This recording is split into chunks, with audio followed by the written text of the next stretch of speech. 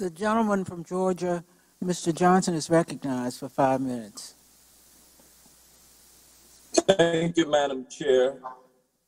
Director Wray, isn't it true that the FBI prepared a formal intent with a threat assessment protest by Black Lives Matter protesters in Washington, D.C.?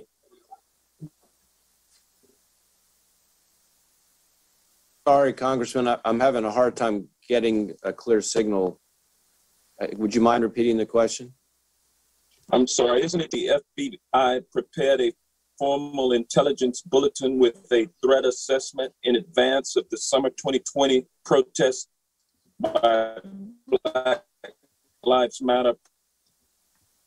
I'm, I'm not aware of whether that's accurate or not, sir.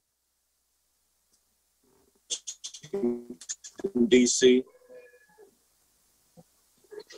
Of course, whenever there is a high profile rally on the ellipse, which is to be attended by the President of the United States, correct?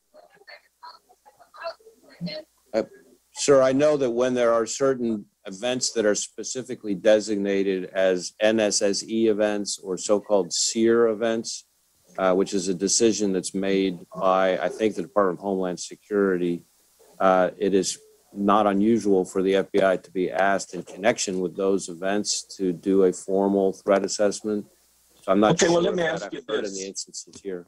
Let me ask you this. The FBI did not produce a formal intelligence bulletin or a threat assessment in preparation for the January 6th insurrection, correct?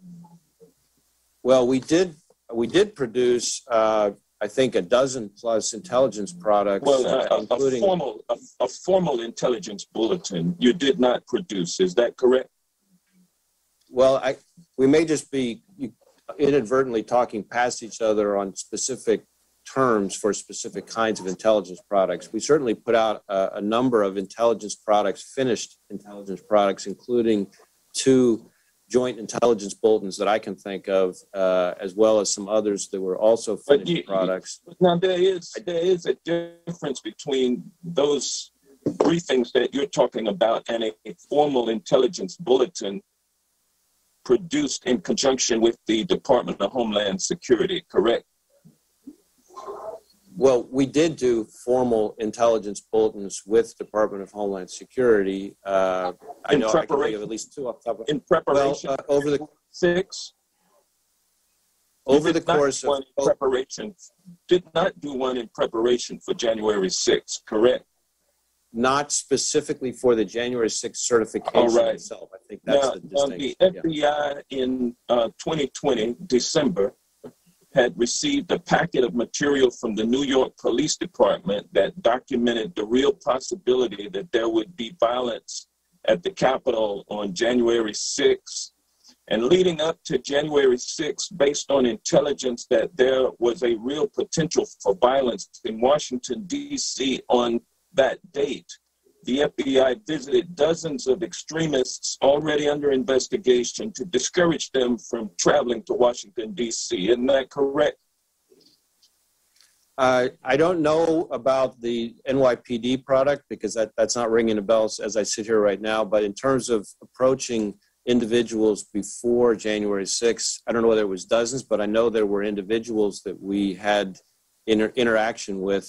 And my understanding is that none of those people had indicated an intention to attack the Capitol, certainly. but All right, did well, let me, indicate let me move, let me, let me move on. On January 5th, the FBI field office in Norfolk, Virginia issued a situational information report warning of an online post that discussed specific calls for violence against Congress on January 6th. And Director Wray, it's crystal clear to me that the FBI knew or certainly had reason to know that there was going to be violence at the Capitol on January 6th. And it's crystal clear that the FBI was more concerned about Black Lives Matter protesters in Washington, D.C., than it was about armed conflict by violent and armed Proud Boys and Oath Keepers descending on the United States Capitol. It's almost like the FBI wanted to look the other way so that the insurrection insurrection could uh, could proceed in its effort to stop the certification of the presidential election. That's what it appears to me and a lot of other people who are looking at this situation. Well, sir, I, I'm sorry if it appears that way. I, I, I don't agree with the characterization, but I can assure you that we are absolutely determined to make sure that nothing like what happened on January 6th ever happens again. Uh, as I mentioned earlier, we elevated, I elevated uh, racially motivated violent extremism, specifically racially motivated violent extremism, advocating for the superiority of the white race to uh, our highest threat priority in the summer of 2019 doubled the number of investigations we had into that type of threat and the number of arrests. But clearly, there's a lot more work to be done, and you can be sure the men and women of the FBI are absolutely determined to get it done. Thank you, sir, and I yield back. The, uh, the FBI director has asked for a short five-minute recess, so I declare that the committee is in recess for five minutes.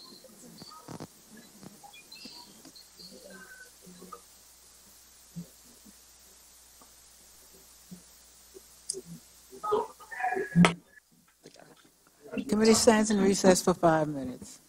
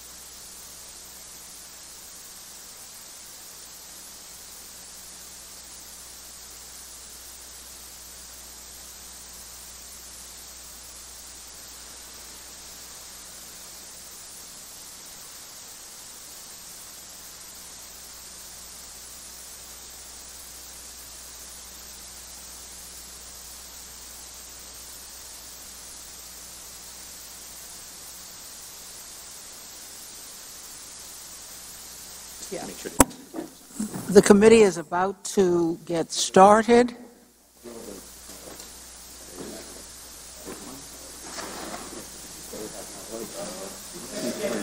We're coming back. We took a, we took a five-minute break, but we're coming back. We're coming back. Okay, there's Glenn. There's Glenn. There's Glenn.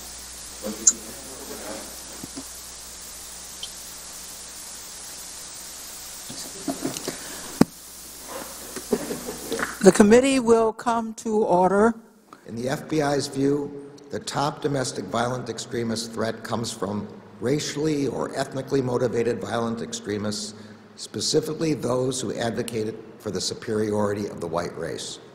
That is an absolute flat out lie. It is not our greatest threat. Not once in his speech today did Merrick Garland mention last summer's BLM riots or skyrocketing crime on our streets, the riots we still see week in and week out. How about Merrick Garland?